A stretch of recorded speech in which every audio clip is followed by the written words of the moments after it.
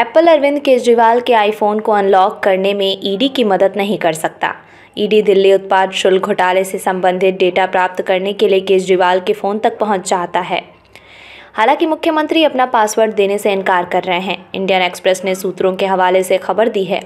केजरीवाल ने जांचकर्ताओं को सूचित किया है कि वो अब 2020-21 में उत्पाद शुल्क नीति का मसौदा तैयार करने के दौरान उनके पास मौजूद आईफोन का उपयोग नहीं करते हैं। इसके बजाय वो पिछले डेढ़ साल से एक अलग फ़ोन का उपयोग कर रहा है। रिपोर्ट के मुताबिक केंद्रीय एजेंसी ने मुख्यमंत्री के खिलाफ पर्सनल कंप्यूटर या डेस्कटॉप के रूप में कोई इलेक्ट्रॉनिक सबूत उजागर नहीं किया है। बहरहाल, उसने चार मोबाइल फ़ोन जब्त कर लिए हैं। 21 मार्च को केजरीवाल की गिरफ्तारी के दौरान उनके आवास से करीब सत्तर हज़ार रुपये बरामद हुए थे, जिन्हें छुआ तक नहीं गया था। सूत्रों ने दैनिक को बताया कि केजरीवाल ने पूछताछ के दौरान कहा कि अधिकारी उनके आईफोन के माध्यम से आपकी चुनाव रणनीति और चुनाव पूर्वक गठबंधन तक पहुँच प्राप्त कर सकते हैं।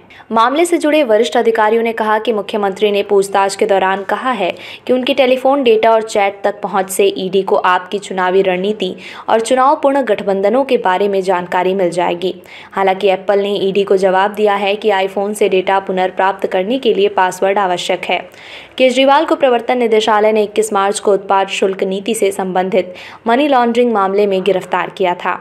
अपनी गिरफ्तारी को चुनौती देने वाली मुख्यमंत्री की याचिका पर दिल्ली उच्च न्यायालय तीन अप्रैल को सुनवाई करेगा। हिरासत में रिमांड के लिए अपने आवेदन में जाँच एजेंसी ने आप नेता पर दिल्ली शराब घोटाले की पूरी साजिश में शामिल होने का आरोप लगाया है, जिसमें नीति का मसौदा तैयार करना और कार्यान्वयन करना, बदले में प्राप्तकर्ताओं को लाभ पहुंचाना और कुछ का उपयोग करना शामिल है। गोवा विधानसभा चुनाव के लिए चुनाव प्रचार में अनुसूचित अपराध से उत्पन्न अपराध के